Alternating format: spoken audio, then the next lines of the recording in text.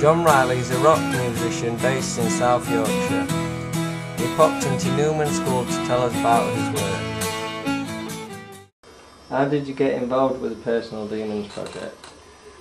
Um, well, uh, Jack Todhunter has got some compromising photographs of me and um, said that he put them on the internet if I didn't get involved. no, that's not true. Uh, no, Jack um, talked to me about the, uh, the, the basic storyline in Personal Demons, which I thought was uh, uh, just a fantastic concept. So I think I suggested that uh, perhaps we write write a song as a kind of flagship sort of um, for the whole project. And I think, if I can remember, because it seems quite a while ago, we came in and we did uh, the song Invisible Man with with uh, with kids from the school, and uh, it went really well, and we all enjoyed it. Uh, and, and from there, I, I kind of suggested that uh, it could make a really good a good musical, and, and we went from there. Basically, it's simple as that. Uh, uh, Jack said he thinks it's a good idea. Um, we, we saw that there's some funding that could go in place so we can make it real, and we we got stuck in, and it's been really enjoyable.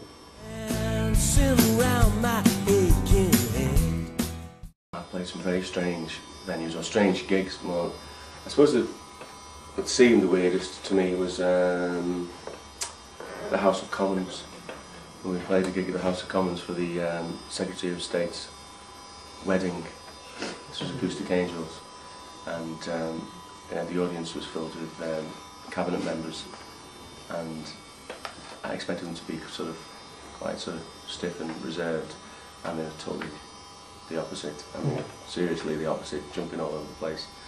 And uh, it was just very strange to see uh, people like Margaret Beckett um, dancing around, electrocuting everybody with their uh, crimplene dress. And also, uh, we were singing a song, and um, I noticed that David Blunkett came on the dance floor, and he had two ladies on each arm, and he was dancing around. And uh, of course, he's from Sheffield, so I shouted over the mic. Um, it's good to see uh, Mr. Blunkett supporting the lads here from Sheffield, so he gave a sort of nod and a wave and stuff.